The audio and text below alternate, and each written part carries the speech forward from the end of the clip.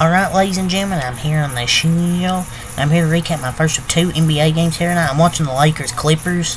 Uh, it's a two point game right now, but I want to get the Nuggets recap done here. The Denver Nuggets beat the Sacramento Kings 117 96 reaction. The Kings have beaten the first two times they played, but the Nuggets get a dominant win here uh, with a big second and third quarters.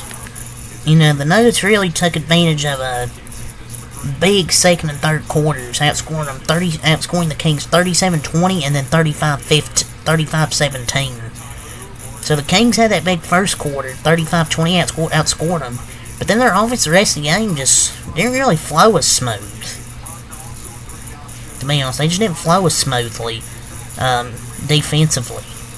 And really throughout, really, really throughout the whole game until the fourth quarter when the Nuggets really weren't trying. But after the first quarter, the Kings' offense and defense just kind of got worse throughout the game. And that's Jamal Murray showed up here in a big game tonight. Uh, 32 points, 6 assists, 3 rebounds for Jamal Murray, uh, 13 15 from the floor, and win number 40. The dude just couldn't miss tonight. And they won their 300th game together, uh, Jamal Murray and Mr. Nikola Jokic. And they're the first duo in Nuggets history to win 300 plus games together before turning 30. And despite missing Jamal Murray for 15 games this season, they're now 40 and 19, and they're 32 and 13 when he, Jamal Murray plays. And they can win back to back this year. They're on pace for maybe 60 wins this year. Man, Jamal Murray's always been such a great player. He shot uh, 5 of 6 from 3 tonight, just great from the field as well. Uh, Jokic had a triple double as well. Uh, he had 14 points, 11 assists, 14 rebounds, uh, 5 of 9 from the floor. A triple double. His last four games since the All Star break, four triple doubles. I mean, Jokic is such a good player. And he doesn't, sometimes he doesn't have to impact the game with his scoring. He can just do it with his passing. He only took 9 shots tonight, it was a plus 37. He can impact the game so many ways without scoring. Uh, Jamal Murray and Jokic, best one of the best duos in the league. Uh, KCP, 16 points, 6 of 10. He's had a good last two games as KCP. Aaron Gordon, 17 points, 6 assists, 6 rebounds.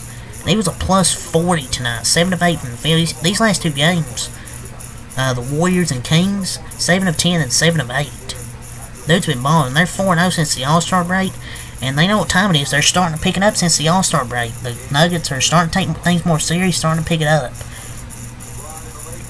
And being able to turn him to a, into a scoring option is what makes the Nuggets even more difficult because they already have Murray, Jokic, uh, KCP when he's on, Michael Porter Jr., and then you have Aaron Gordon.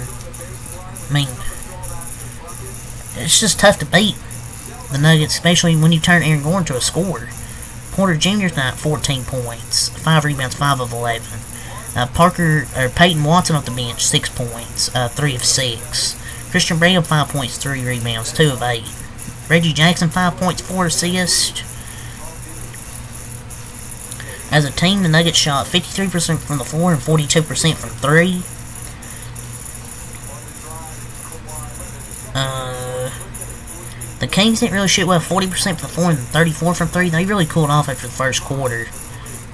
Because they outscored them 35-20, but then their offense, I think the Nuggets defense just locked in after the first quarter. And then their offense really starting to lock in as well, especially Jamal Murray. For the Kings, um, they were really missing. Uh, I don't think De'Aaron Fox played tonight, so they were really missing their main, you know, main scorer. So Keegan Murray really, really had to turn that main score, 21 points, uh, 9 of 17.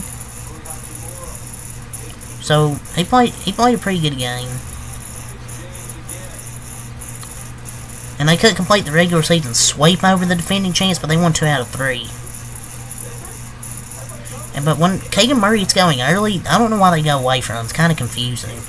But they were really missing Fox tonight, you could tell. Sabonis 13.7 assists, 10 rebounds, 5 of 14.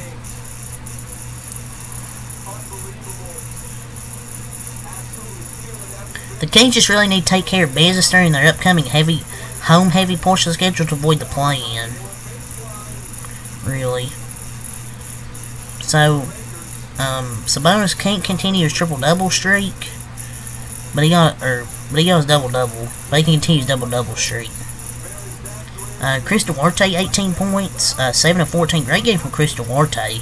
Trey Lyles, 8 points. Uh, Malik Monk, 14 points, 5 assists, 5 rebounds. 6 of 16. Didn't really shoot well, but he had a lot of points. Uh, Mason Jones off the bench had 4 points, 4 assists. Getting some solid minutes, I guess. Uh, Harrison Barnes, 7 points, 3 assists, 4 rebounds. Uh, only 2 of 7 tonight, I think, so he didn't really shoot well. There's just nobody really shot well for the Kings outside of Keegan Murray and um, Chris Duarte. You can tell much they were missing Fox. Because their offense really didn't flow as smoothly after the first quarter. Because they scored 24 less points in the second, third, and fourth quarters. And the Nuggets offense and defense really locked in after that first quarter. So they improved to 40 and 19, the Kings to 33 and 25. So people just need to calm down. Uh, Nuggets were going kind of up and down throughout the year, but when they're healthy, having Jamal Murray and everybody healthy, they're a tough team to beat. The Kings now 33 and 25 following this loss. They, they could be in the play-in, but who knows at this point. They just need, need to take care of business at the their schedule. The Nuggets beat the Kings here. They trailed 42, 47-32 in this game, actually by 15, then ended the first half in a 33-8 run. That's really what did the Kings in, allowing that 33-8 run in the half. But yeah, it's really all to say here, so until next time, have a lot. Peace.